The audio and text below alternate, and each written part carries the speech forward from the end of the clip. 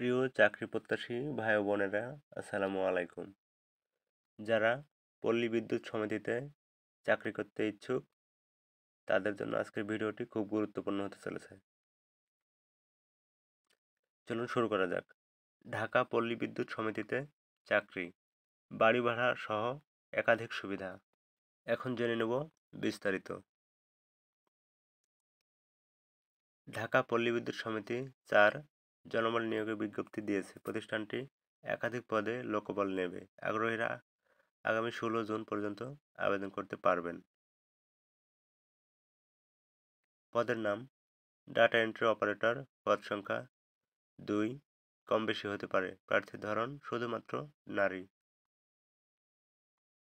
বেতন আঠারো হাজার তিনশো থেকে ছেচল্লিশ হাজার দুশো চল্লিশ টাকা। যোগ্যতা এইচএসসি বা সমমন পাস।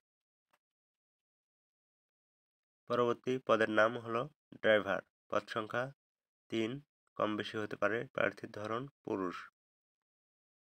বেতন ষোলো হাজার ছশো থেকে একচল্লিশ হাজার নশো পঞ্চাশ টাকা।